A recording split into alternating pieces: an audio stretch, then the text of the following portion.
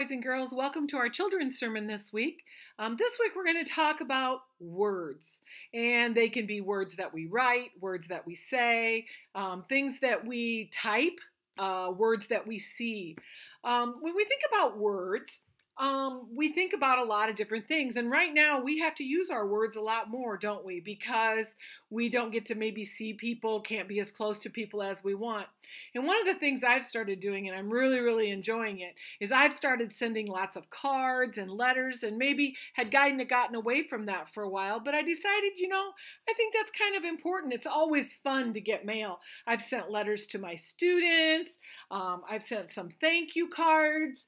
I've got uh, I've got a card here that's called just checking in to see how you've been. Just sometimes maybe somebody needs a day thing something to perk up their day a little bit if they haven't been around folks. I brought I bought uh, these cards. This is a, a thank you card for teachers because this week is Teachers Week. So maybe that's something you could do.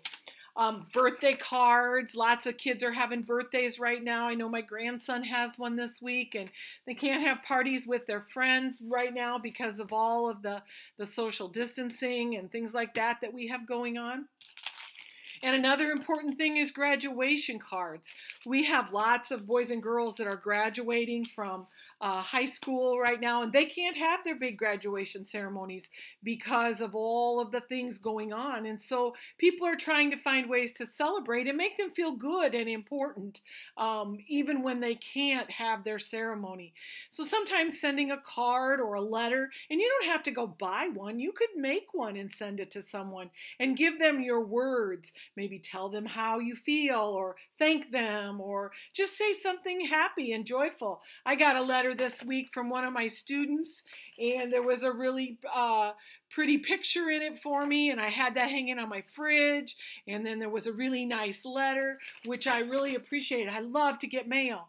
And you know, there's another word that we think a lot about and that we can kind of live our lives by, and that's God's word. God's word is our Bible. And our Bible has many, many words in us that can help us when we're thankful for something or when we're feeling really sad and we want to feel better about things. And sometimes it tells us how we need to live our lives, what we need to do to be children of God. There's one verse in particular that I picked out for this week, and I really hope you'll like it.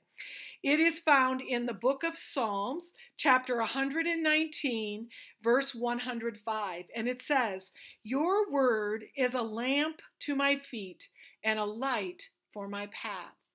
Because you know, right now, God's word can help us when maybe we are feeling sad and we can't maybe see grandpas and grandmas or we can't see our friends at school.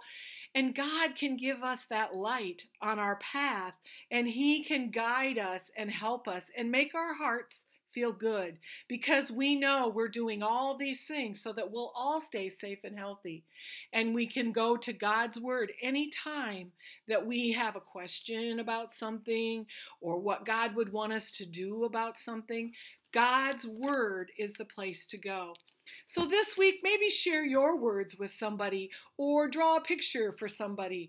We've got Mother's Day coming up next weekend. We've got, like I said, it's Teacher's Day this week, and it's also Nurses Day this week. I believe that one's on Wednesday. So if you know somebody that you could spread some words to, and remember that God spreads His word to you, and God gives you those words in your heart to help you, to help you celebrate, to help you when you need to be lifted up, whatever it might be. But God's word is always there for us in the Bible. So let's bow our heads and close our eyes for a quick prayer. Dear Heavenly Father, we pray for the boys and girls this week that you will help them to share their words and their love with others as you have shared your word with us and help us as we each are celebrating in our homes, um, different events, and that you will help us if we're feeling a little bit sad, that we can go to your word and we will be lifted up. We ask for your guidance in keeping each of these boys and girls and their families safe and healthy. For it's in Jesus' precious name we pray. Amen. All right, go spread the word. Spread the word of God and spread some words of happiness. Have a great week, everybody. See you next week.